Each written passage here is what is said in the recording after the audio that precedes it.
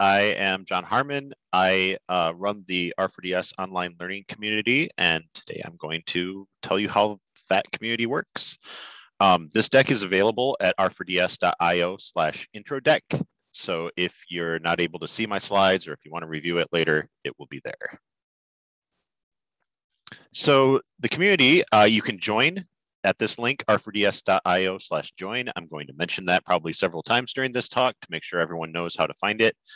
Uh, if you ever try to use that link and it does not work, um, I'm going to have some contact information later in here because Slack has what they call um, like no time limit sign up links, and eventually those expire, which is annoying. They say there's no expiration, but they do, and randomly it'll just stop working. So when that happens, I, I try to, you know, you probably won't see that happen, but if it doesn't work, it's not that you're doing something wrong, it's that Slack is doing something wrong. Um, and we will fix it usually within minutes. Uh, so there's that link. All right. We were founded in 2017 as a book club for the book R for Data Science by Hadley Wickham and Garrett Grolemund. Um, there is confusion because of that, that we kind of share a name. We are not associated. Um, Hadley has come to the channel a few times to like do Q and A's and things, but we're not officially associated with him or with uh, RStudio. We are an independent thing. Uh, we have 10,000, about 10,000 members, and every week about 700 of those are active. Um, so it, it definitely people come and go, uh, but there's usually um, quite a bit of activity in the in the Slack. Everyone is a volunteer. Um, it's all it's all just a community that kind of somewhat randomly formed. Came out of this book club.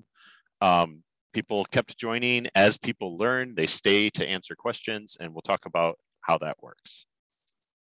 All right, so the thing you might know us for is uh, the Tidy Tuesday project, which is mostly on Twitter. Um, every week, one of our members, Thomas Mock, posts a uh, data set, a clean data set that you can use to practice using R. And I say a clean data set, it's uh, he has gotten it into a, a rectangular format, but there's often a lot you need to do in order to really find anything interesting. And that's the idea. It's just a free data set for you to play with, do visualizations. Uh, sometimes people build models. Um, both uh, David Robinson and Julia Silge often do like screencasts of their techniques of working with the data set. Um, and so that's just you know a project we started and it has been extremely popular i also do a podcast in theory about uh, tidy tuesday. I um, haven't actually recorded a new episode for about a year and a half but i have some plans. And so hopefully uh, i will soon be doing that podcast again.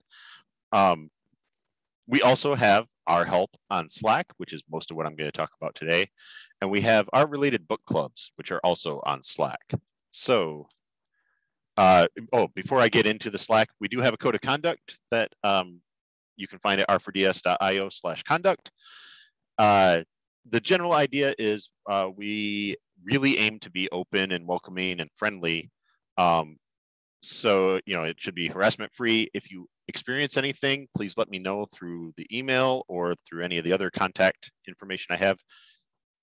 I have almost never had to do anything to enforce this. We are a very friendly community and it kind of is self-reinforcing because everyone's so friendly, I think, that people, I don't know. Um, I don't know exactly how it works, but it seems to work really well. But if anything happens, please let me know. We have had uh, one or two cases where we had to, you know, block someone out of the community, and we will we will deal with that as is needed. All right, so like I said, most of what we do is in this Slack team. Um, right now we have 42 channels. There are uh, some general channels that I'll talk about for those, a bunch of help channels, um, some book clubs, uh, some chat channels, which is where uh, this group comes in, and some project channels, which kind of overlap with the chat channels, and we'll talk about that a little bit at the end. All right, so those general channels, we have this intros and welcome channel uh, it's got a zero on the front there just so it alphabetizes up to the top. Um, and the idea is that's where you, when you just get started, come in or you don't have to do it exactly the day that you start, but when you feel like introducing yourself, come in there and just let us know who you are. uh, where you are, how long you've been using R. It's just a way to kind of get to know who's in the in the Slack. It's really nice to see almost every day there are a couple of people introducing themselves in there. And so I, I tend to, you know, give them a wave on the Slack and sometimes um, you know, people will will chime in that, oh, I also live near there, or I work on that same sort of problem, and here are some things that I found helpful, or whatever. So it's it's helpful, uh, often helpful to you to introduce yourself. Um, we have the wins and feedback channel. So the idea there is to let everyone know if something is going well or if you just want some feedback on something. And again, we tend to be a really friendly group. So it's a kind of pain free way to say, hey, I wrote this blog or I made this visualization or whatever. Um, and people will help, uh, you know, give you some feedback about that. Um, we have a uh, conferences channel. Technically, that I set up that meet category, um, but there haven't been enough conferences uh, for it to be to need a whole series of channels. So it's just the one channel. We tend to like while there's a conference going on that everyone's attending virtually, it gives another place to chat about that, other than what whatever the conference might um, present. We also use it for meetups like this that um, you can announce them in there, uh, maybe talk about what you saw at a meetup, but that again kind of overlaps with the chat channels. And then we have a, a job board that people post jobs when they're hiring and um, people can post that they're looking for a job.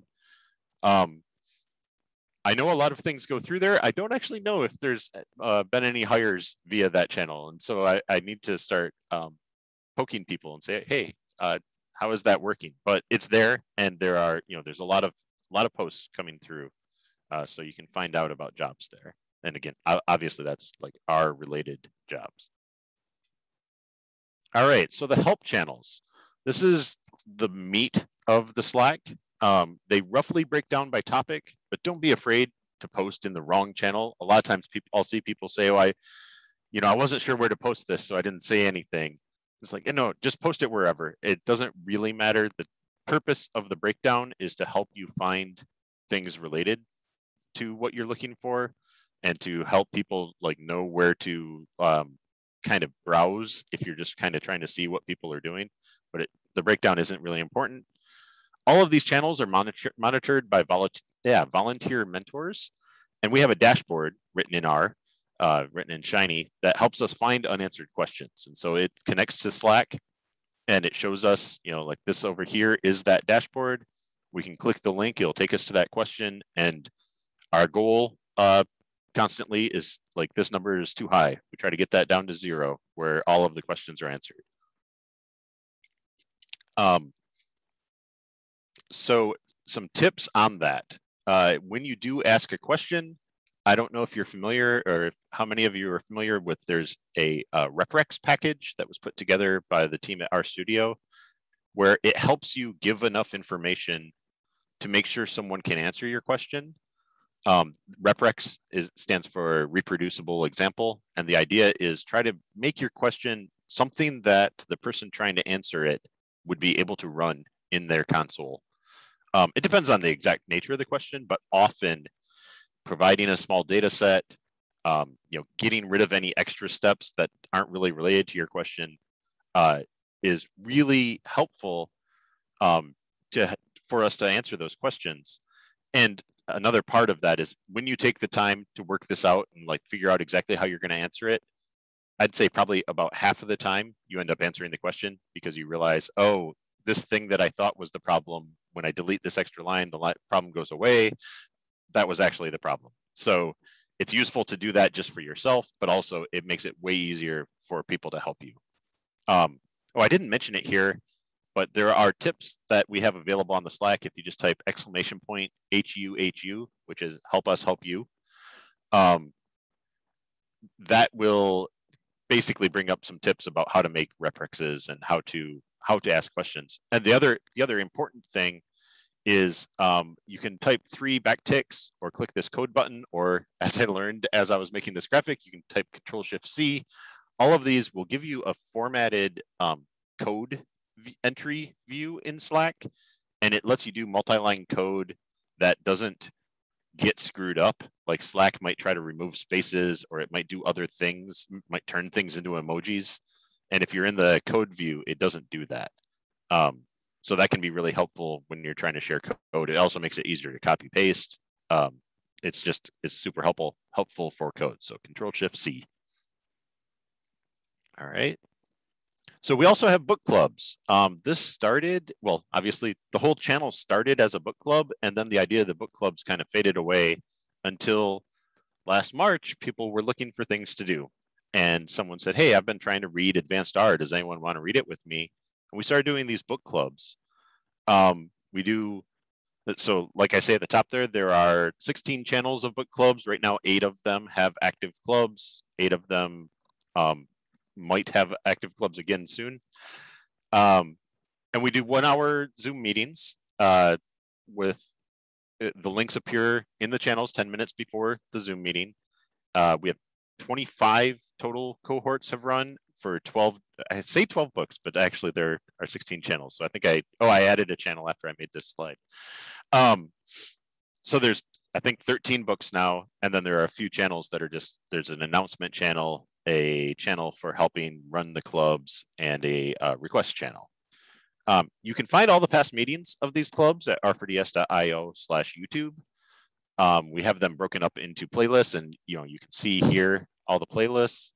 Um, and that's what it was is i counted the books from the playlists and um, we just started a couple of new books. So uh, it's been a really um, i don't know it's, it's been a really great way to actually get through these books. Like i had all of these books on my shelf. I don't know how many of them yeah you can kind of see over here. All these are books that i would kind of collect and skim through um, and now i've been actually reading them with these clubs um, so I, I, highly recommend it. We also definitely have people who uh, don't join the Zooms. Maybe the times don't work, although we try to spread the times out, you know, worldwide because we know we are a worldwide group.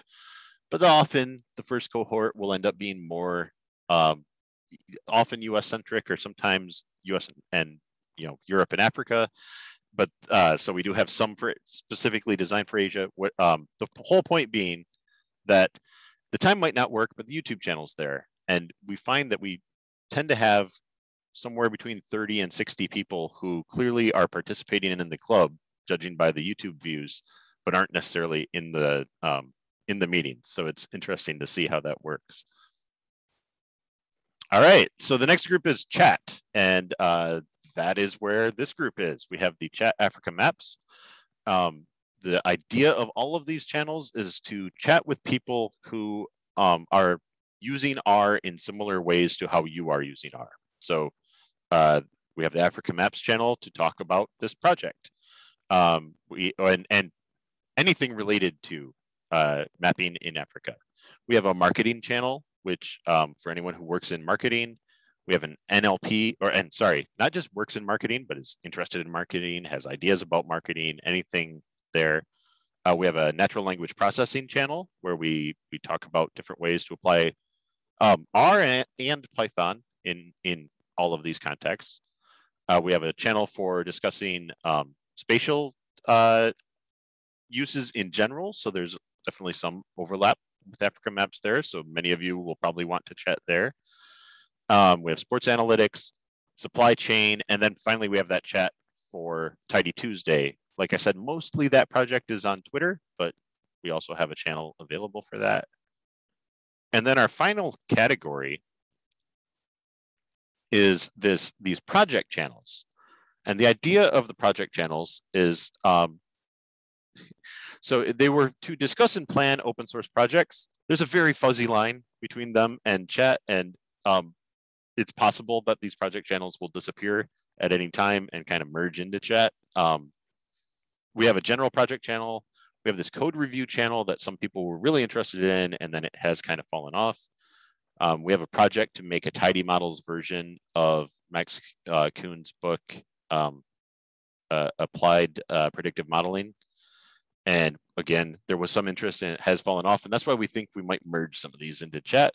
But if you have a project, um, let me know and we can always look into uh, again, whether that fits in chat or projects. Um, and that's our channels. So I wanted to leave a lot of time for us to discuss. So I am going to pull up the doc in a minute. Uh, again, come to r4ds.io join or slash join. I want to see everyone there. Uh, put, introduce yourself in introductions. And uh, also you can find us on Twitter. We have R4DS community. I'm Jon the Geek on Twitter. And um, we have the Tidy Tuesday hashtag on Twitter. That is, if you haven't seen it, it's um, kind of inspiring because people do all kinds of things with this data. And it's amazing to see the diverse ways that people deal with the data from this is my first ggplot to I built this model to predict, you know, who's going to win each medal in the Olympics or whatever it might be. So it, it goes this whole range of things. Um, again, you can email us at r4datasci at gmail, and you can find this deck at r4ds.io slash intro deck.